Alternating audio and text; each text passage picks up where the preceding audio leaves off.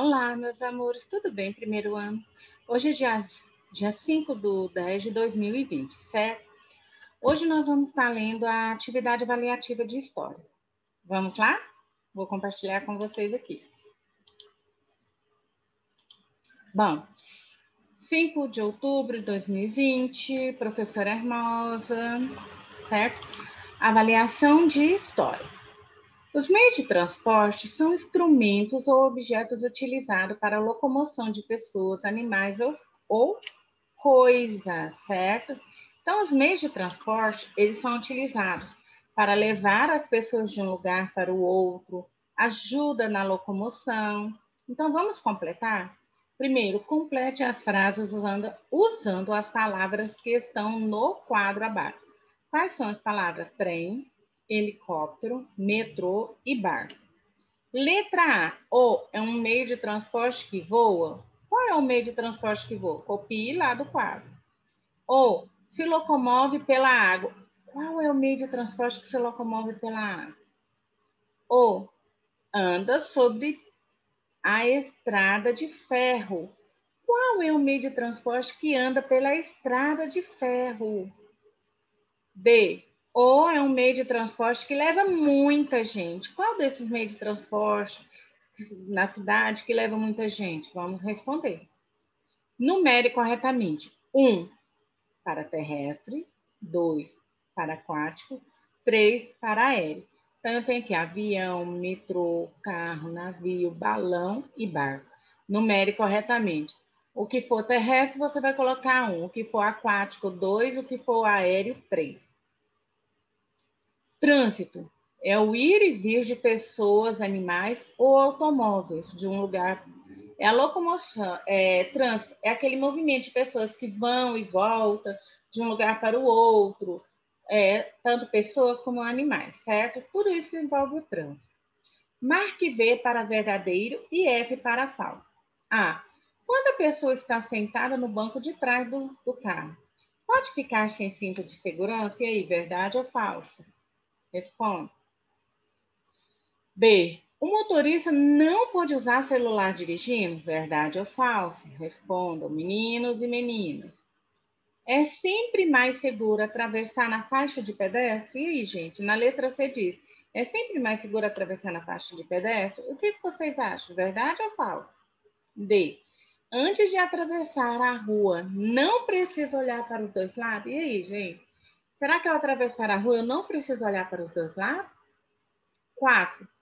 De acordo com o que foi estudado, ligue corretamente a sinalização ao que se refere. Cone, stop, guarda, vertical, gestual, auxiliar. O que for vertical, você vai ligar. E o que for gestual e auxiliar também. Aqui eu tenho luminosa, sonora e horizontal. E aqui eu tenho as imagens. Ligue corretamente. Bom, os meios de comunicação são instrumentos ou objetos utilizados na comunicação entre pessoas. É a forma de, de nos comunicar, de conversar com alguém. Quais são as formas que você pode estar utilizando para conversar com as pessoas, hein? Então vamos lá? Complete as palavras com as vogais. Quais são as vogais? A, E, I, O, U. E descubra os meios de comunicação. Depois Descobrir os nomes? Depois ligue cada um ao seu desenho, certo? A sua imagem correta. Seis, marque um X na opção que, se, que só aparece em meios de comunicação. Ok. Então, o que, que vocês vão fazer? Marcar um X somente na frase, somente onde aparecem palavras referentes aos meios de comunicação. Não pode ter outra coisa, a não ser meios de comunicação. A. Celular, computador, ônibus, moto e secador. B. Carta, computador, celular, televisão, rádio, revista. C. Carro, celular, jornal, bicicleta, mesa lâmpada. A forma de se, vestir, de se vestir varia por causa do gênero, masculino e feminino, da estação do ano também, da situação, da cultura e da época em, cada, em que cada um viveu. Bom, Leia as frases ah, e escreva A para que for adequado, que eu devo usar, e NA para aquilo que não é adequado. A. No verão, visto meu agasalho e vou para a praia. Vou à praia com toda a minha família. A ou NA? B. É importante usarmos camisas térmicas para proteger a pele da exposição ao sol quando vamos à praia ou à piscina? A ou NA? A. Para adequado e NA para não adequado. C. Em época de chuva, vivo sempre sem camisa e descalço. A ou NA? Adequado ou não adequado? D. Chapéu e bonés servem também para proteger o rosto do sol? A ou NA? Responda, meninos e meninas. Bom, os povos indígenas têm muitas histórias. Os índios vivem em tribos, cada uma com seus costumes. Marque a resposta certa.